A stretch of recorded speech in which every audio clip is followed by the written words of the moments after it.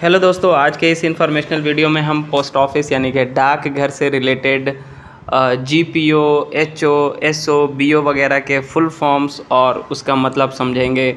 आपने कई बार रेलवे के टिकट अगर बुक किए हैं तो देखा होगा, जब आप लोकल पोस्ट ऑफ़िस सेलेक्ट करते हैं एड्रेस पुट करने के टाइम पे, वहाँ पे पोस्ट ऑफ़िस के नाम के आगे एस ओ लगा होता है। तो क्या आप जानते हैं कि एस ओ का मतलब क्या होता है?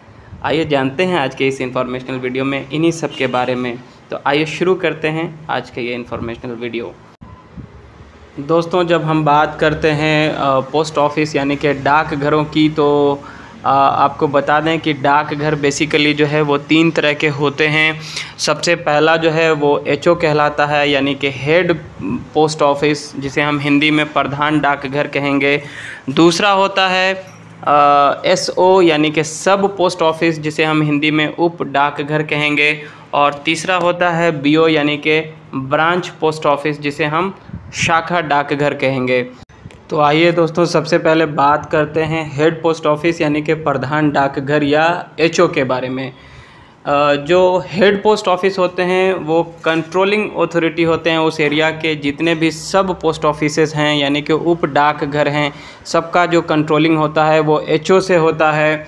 और एक हेड पोस्ट ऑफ़िस के अंतर्गत लगभग डिफ पचास जो उप डाक घर हैं एसोज हैं, उस एरिया में डिफरेंट डिफरेंट पिन कोड्स के, वो आ सकते हैं।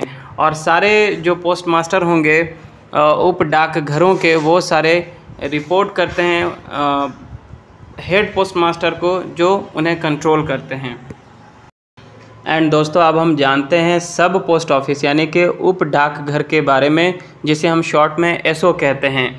तो जनरली जो उप डाक घर होते हैं यहीं पे उस पर्टिकुलर जो पिन कोड का एरिया है वहीं से शॉर्टिंग और डिलीवरी का सारा काम होता है। और जो पोस्टमैन होते हैं, वो यहीं पे रिपोर्ट करते हैं।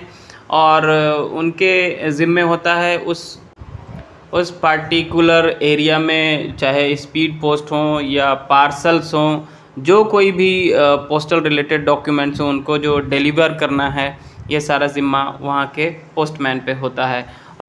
और अब हम बात करते हैं ब्रांच पोस्ट ऑफ़िस यानी कि शाखा डाकघर जिसे हम बीओ कहेंगे के बारे में।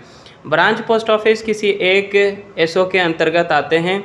और आपको बता दें कि किसी एक एसओ यानी कि सब पोस्ट ऑफ़िस के अंतर्गत कई ब्रांच पोस्ट ऑफ़िस हो सकते हैं जो छोटे छोटे गाँव में हो हो हो सकते हैं। वहाँ से इनका काम होता है कि उन एरियाज़ से जो रिमोट एरियाज़ हैं, वहाँ से पोस्टल रिलेटेड सारे जो डॉक्यूमेंट्स हैं, उनको कलेक्ट करके एसओ तक टाइम टाइमली पहुँचाना होता है उन्हें।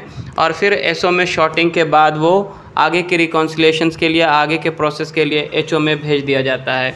तो दोस्तों, अब हम जानते हैं कुछ और पोस्ट ऑफ़िस से रिलेटेड एब्रीविएशंस के बारे में, जैसे जीपीओ यानी कि जनरल पोस्ट ऑफ़िस जो कि सामान्यतः बड़े बड़े शहरों में होते हैं, जो मेन डाकघर कहलाते हैं।